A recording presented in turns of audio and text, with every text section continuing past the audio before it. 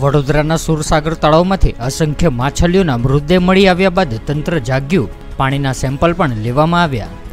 રૂપિયાના ખર્ચે વડોદરામાં સુખસાગર તળાવનું બ્યુટિફિકેશન કરવામાં આવ્યું છે, પરંતુ આ બ્યુટિફિકેશન જળચર જીવો માટે ખતરનાક સાબિત થયું હોય તેવું લાગી રહ્યું છે.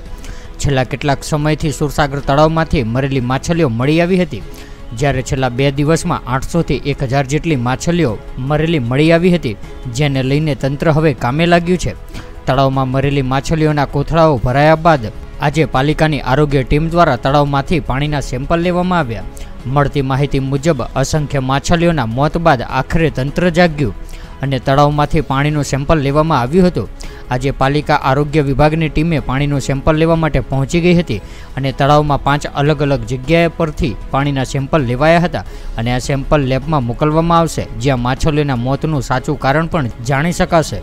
પાંચ જગ્યાએથી પાણી લઈને લેબોરેટરીમાં મોકલવામાં આવ્યું છે, જેને લઈને ત્રણ ચાર દિવસ પછી પરિણામ આવશે. સુરસાગર, જે ઐતિહાસિક તળાવ છે, વડોદરા શહેરની મધ્યમાં આવેલું છે અને વર્ષો પહેલાં જે હાલતમાં હતું એનાથી ઘણા સુધારા કરીને લોકોને વોકિંગ માટે પણ ઉપયોગી બને એવો અમારો પ્રયાસ હતો.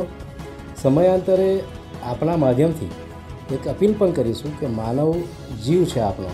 અને માનવ સાથે સાથે જળચર પ્રાણીને આપણે જે પ્રકારે એક સોશિયલી સમાજ સાથે વણાયેલી વસ્તુમાં એમણે ખોરાક આપવાની જે માનસિકતાની સાથે કેટલીક વખત હું એવું નથી કહેતો કે એ લોકો કરતા જ હશે, કોઈ જનતા પરંતુ આમાંથી બહાર આવીને જે પ્રકારે માછલીના મરણ થયા છે, એક અંદાજ મુજબ જે પણ કારણ હોય, પણ આપણે બધાએ સાવચેતીપૂર્વક ખોરાક ન આપીએ અને સાથે કોર્પોરેશન અને અમારી રીતે જે ઓક્સિડેશનની પ્રક્રિયામાં કંઈક પૂર્તતા કરવાની છે, એ પણ પૂરી કરીશું અને આવનાર સમયમાં ફરીથી આવી ઘટના ન ઘટે તો અમારો પણ પ્રયાસ છે subscribe now and press the bell icon never miss an update.